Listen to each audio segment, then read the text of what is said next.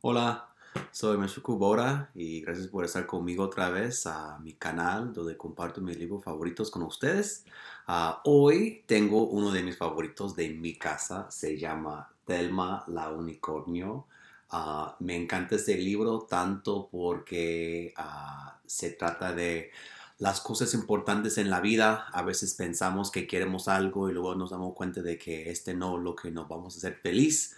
Ah, también es un, ah, un, libro que rima, que como las canciones y lo todo que nos graba en, en nuestras mentes, uh, que también así es Telma. Entonces aquí tenemos Telma, la unicornio, por Aaron Blake, Blabely. como siempre, queremos pensar en cómo estamos creciendo nuestras ideas y pensando en nuestros personajes, en qué están pensando y cómo se sienten. Aquí tenemos Telma la unicornio. Aquí atrás. La Telma. Así es. Ahí está Telma como la vamos a ver. La elegante, la famosa. Ahí la Telma. Telma la unicornio.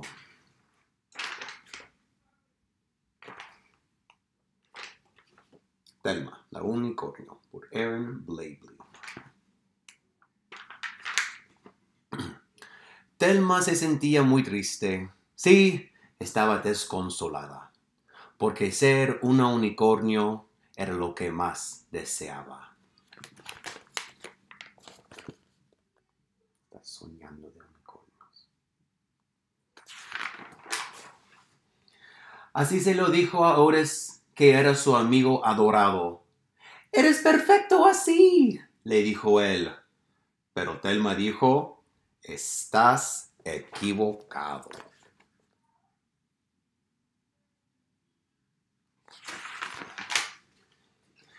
Caminando Telma un día, una zanahoria encontró y se le ocurrió una idea tan buena que brincó y relinchó le puso una cuerda a la zanahoria y a su nariz se la amarró. Diré que soy un unicornio. ¿Quién me diría que no?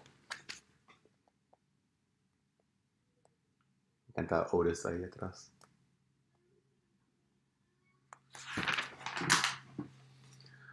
Justo en ese momento un camión por ahí pasó.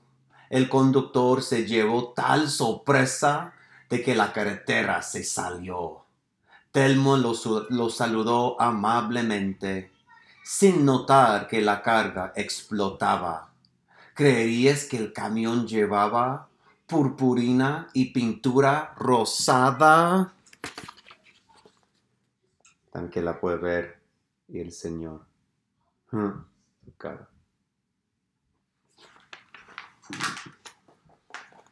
Ay, Telma se veía fabulosa. En un unicornio se había convertido. Ahora soy especial, gritó. Mi sueño se ha cumplido. Y Telma y ¿qué? Y Oris digo, ¿qué?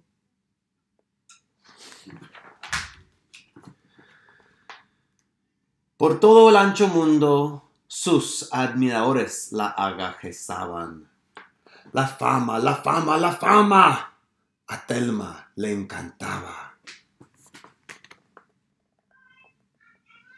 Ahí el cemento mojado. Ahí, su nombre.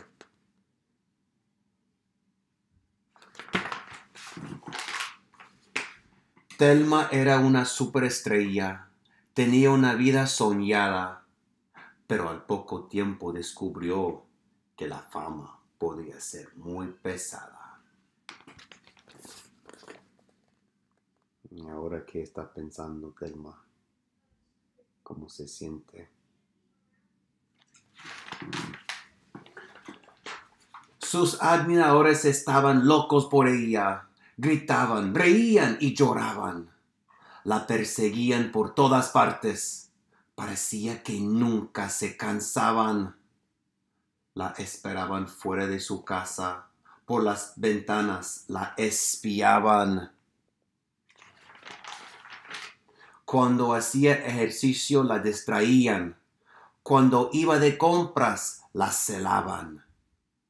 No me sigan más, por favor, les dijo a quienes le gritaban. Queremos, respondieron ellos. Somos admiradores, no nos importa nada.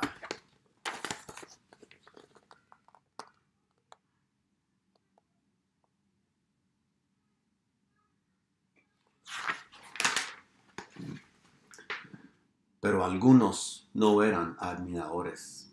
Era gente odiosa hasta decir no más. Podrían hacer las cosas más crueles que uno pudiera imaginar. Y hablamos que sabemos que hay palabras que existen, pero nosotros no queremos usarlos.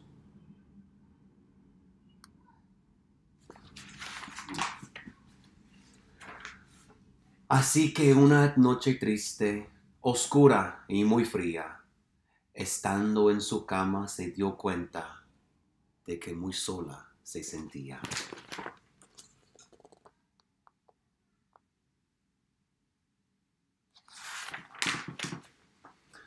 La pobre Telma entró al baño y una sabia decisión tomó.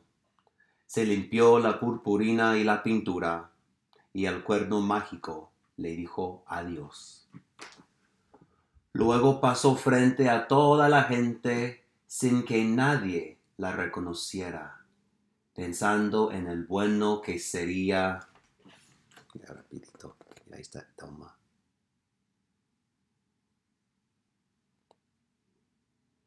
A ver, hay una rima. Luego pasó frente a toda la gente sin que nadie la reconociera pensando en lo bueno que sería encontrarse con Otis en la pradera. Y cuando él le preguntó sobre su aventura bajo un árbol de ramas colgantes, ella le dijo, fue muy divertido, pero prefiero ser la que era antes. Este. y al final, colorín colorado, este cuento se ha acabado. Ah, gracias por pasar este tiempo conmigo. Espero que disfrutaste a Telma, la unicornio, que creciste tus ideas y que siempre podemos pensar si tienes una conexión, si algo parecido te ha pasado pensamos un poco más de lo que necesitamos y lo que queremos. A veces ah, no son iguales. Entonces, ah, nada más para ponerse semilla ahí. Ah, gracias por su tiempo, que tengan muy buen día y nos vemos la próxima vez. Adiós.